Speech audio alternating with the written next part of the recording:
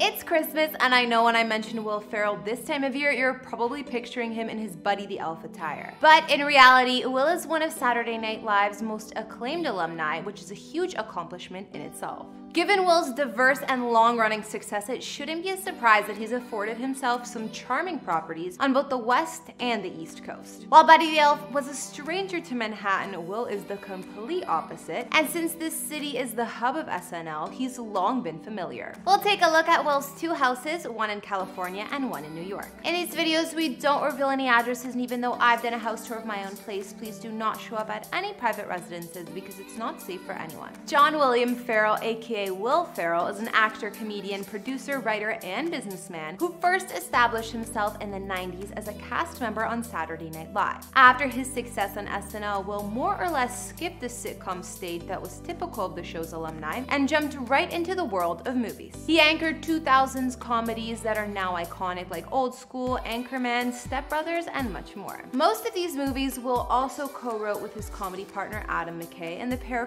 further founded the comedy website Funny Die in 2007.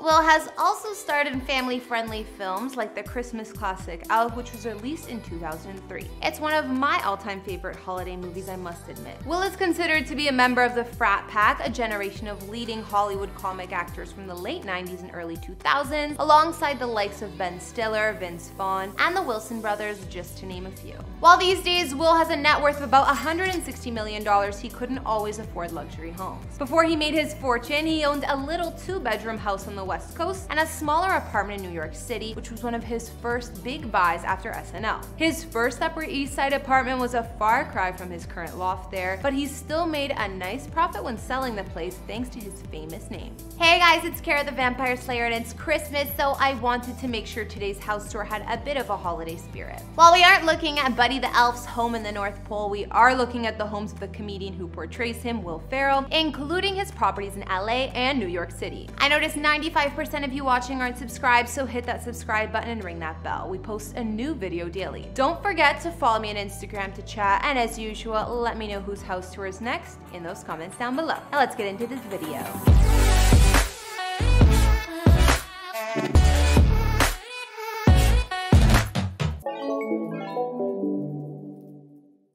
One of the two homes Will currently owns is his $9.9 million mansion in Los Angeles, California, which is also the first one he bought. He actually got the home from none other than notorious house flipper Ellen DeGeneres back in 2007, and it's located on about 2.5 acres of land. Unlike many of Ellen's other house projects, she actually used to live in this one. Will lives on Woodstock Road, which is in the Laurel Canyon neighborhood of LA, high up in the famed Hollywood Hills. While we don't have updated photos, listing materials at the time of purchase give a pretty good idea of what Will's house looks like inside. It spans 4,769 square feet with four beds and 4.5 baths in total. His sprawling property is actually made up of three separate land parcels. It's described as a private gated compound with a country feel just moments from the main strip. He has a gorgeous main house as well as a guest house and pool house with two beds and a bath. Elsewhere on the estate, there's even some sort of recreation building and another structure that appears to be a screened-in outdoor living and dining room. Will's main house was built back in 1939 and renovated since, and I hope renovated again because from the previous pics, the designs looked outdated in some of the rooms. Interiors include large public rooms such as a bright great room with wall of windows, a media room, and a kitchen with double ovens and stainless steel appliances. From what we can see, the master suite is spacious and there's also a second bedroom suite. It looks like Will's main master has a room-sized closet with plenty of built-in organization too.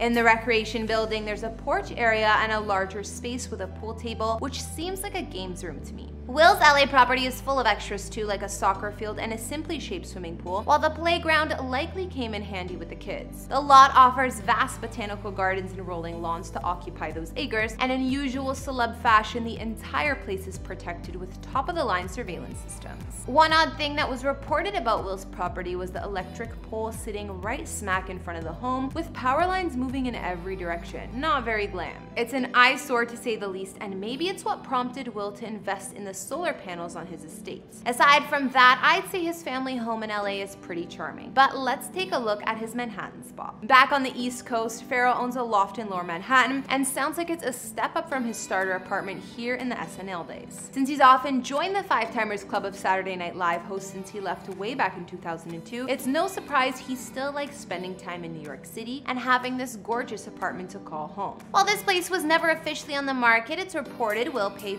$4.2 million for the loft on West 13th Street back in 2010 and proceeded to completely redesign the place. The building itself was converted from a Victorian era printing factory, and Will's unit spans 2,800 square feet, featuring exposed brick and ceiling beams to complement a black and white design backdrop. Basically, it's very New York. The apartment has three bedrooms as well as an open concept kitchen, living, and dining area. Back in 2013, Will's contemporary home was even featured in Architectural Digest, where he showed off the space he shares with his wife and three kids. Once the interior designer was done with the place, they turned the apartment from something dark and outdated into a loft that's bright and sophisticated. The place was gutted and they used as much original materials in the redesign as possible. While it took three years to complete, it was well worth it. The outdated bathrooms were replaced and so was the kitchen, which now has granite counters, a zinc backsplash, and appliances like a Sub-Zero fridge. There are also designer light fixtures over the table and some modern art to accent the room.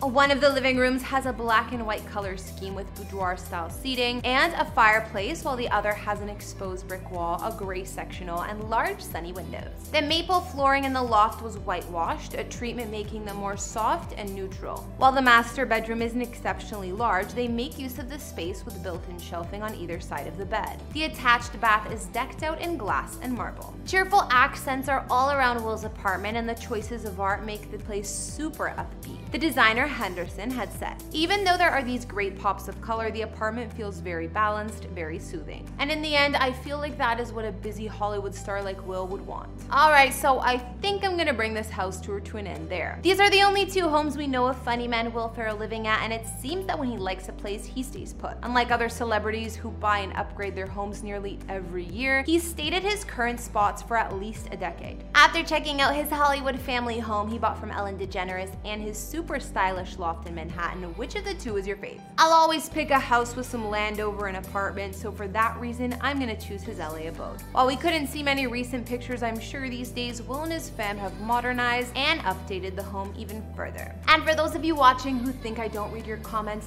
think again. I read them all, and I've been loving the feedback on these celeb houses. I love to hear which ones you guys liked or didn't like. I also have been getting a ton of the great requests you guys send for celebrities like Celine Dion, Reese Witherspoon, Jack Black, and many more, and I'm taking notes. If these aren't up yet, keep your eye out because I'm getting to work on all of them. If you haven't, please like and subscribe to my personal channel where I post a new video every Sunday. Leave me a comment on my latest video and we can chat there. I just did one preparing for Christmas. It's time for my Christmas house tour. Well, kind of. Oh my gosh, cut! What is that annoying noise? That being said, Merry Christmas and Happy Holidays, everyone. And now we can all go watch Elf. Don't forget to follow me on Instagram and tell me whose house tours you guys want to see. I'll see you all in a brand new video. Bye!